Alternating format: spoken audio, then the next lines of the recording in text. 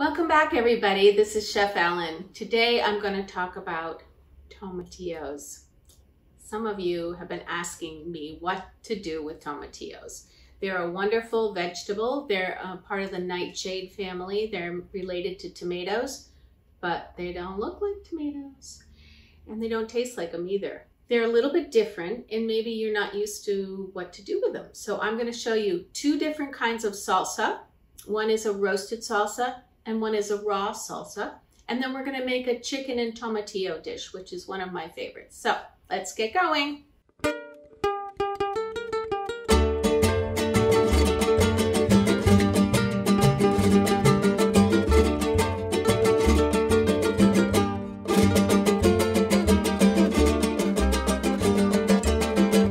We're going to begin with our roasted tomatillos. First, we're going to take our food processor and quickly pulse our onions and our hot chilies. Do a quick pulse.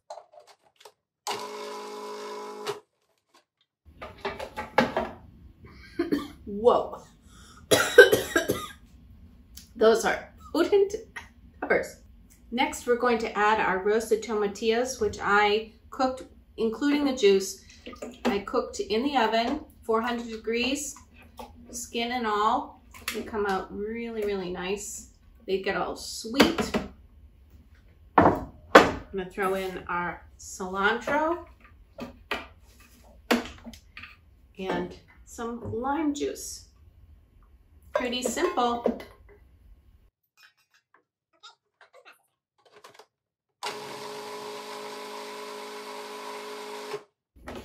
That's it. For our next salsa, we're gonna make a raw tomatillo salsa.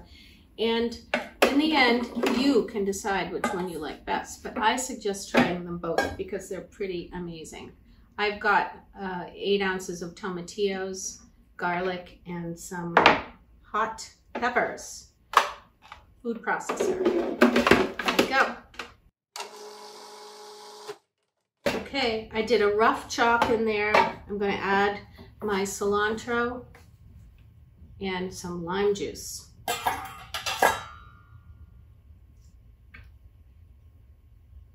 Now we're going to blend it a little bit better.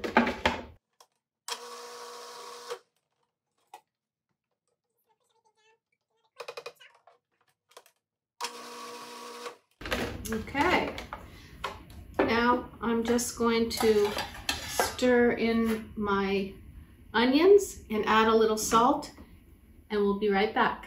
We're back again. We're going to be making braised chicken with tomatillo sauce. It's a pretty fantastic recipe. The first thing we're gonna do is have a little, I'm using avocado oil here because it's a nice high heat oil and it's not quite as expensive as my really good olive oil. So I have a Le Creuset pot, one of my favorites. I like this one because it's a little shallower so and a little wider, so it's easier to work with. I've got boneless chicken breasts here, and I um, I have salted and peppered them, and I've taken the supremes off of the chicken because I find this is Bell and Evans chicken, but I find that they're so large that it's really too much chicken for one person, so I I take the supremes off and cook them separately. So we're just, sorry for the noise, but we're going to braise these on both sides. We're gonna flip them about eight minutes total and we'll come back and see what we do next. Here we are back again and we have braised our chicken and it's got nice and brown, about eight minutes or so. Both sides get all everything cooked. And now I'm going to add my onions to my pot and cook those up a little bit till they're brown. The one thing I want to say is that you don't have to use just chicken breasts. I know a lot of people like boneless breasts, but um, chicken pieces work very well here, either thighs or different pieces. And you might know this, that the chicken pieces are a little cheaper to buy than boneless breasts. Actually, when you cook chicken with the bone in it, it actually is more flavorful. Perhaps it's a little more work to eat, but it's worth it. So try it if you get a chance. Okay, we'll be back in a few minutes after our onions have cooked a bit. The next step is to add our chicken stock. And we're gonna add that in. That a little stir. Then we're gonna add our tomatillos. So I've got all these nice tomatillos. They've got, uh, I quartered them. I roasted poblano peppers and chopped them up and add those in. And a little bit of chopped garlic. It's always better with garlic.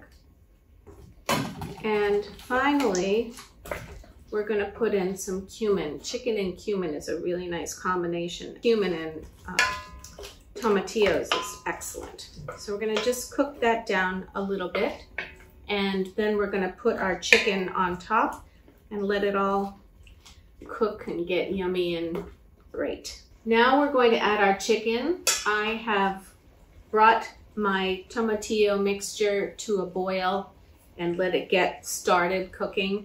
I'm going to now add my chicken into it. It's going to sit on top.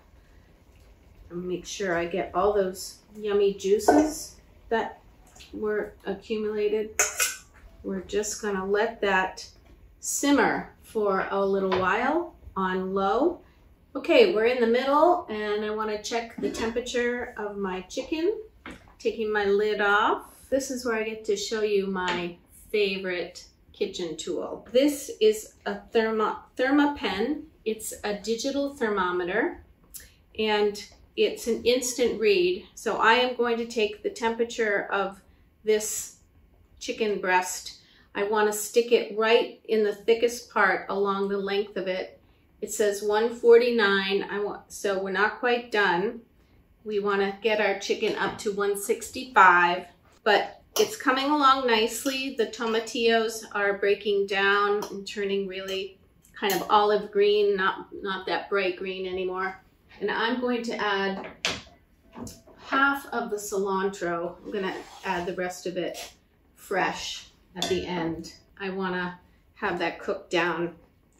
So those of you who don't like cilantro, sorry, because this is a really nice uh, flavor pairing. The chicken, the tomatillos, the poblano peppers, and the cilantro. Anyway, we'll be back in another few minutes when we hit 165.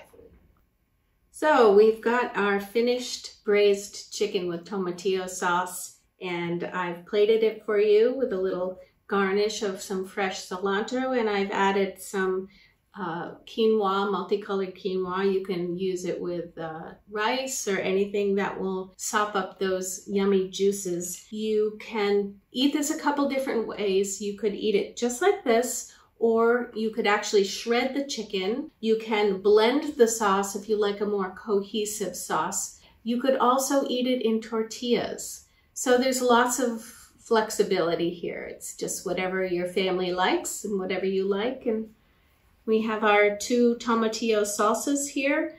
The, the roasted one, which is a little bit more viscous because that's what happens when these roast. And then this is the fresh one. You should try both because they're both delicious, but they're very different from one another. This is Chef Ellen saying thank you for joining me. I hope you enjoyed this and come back another time.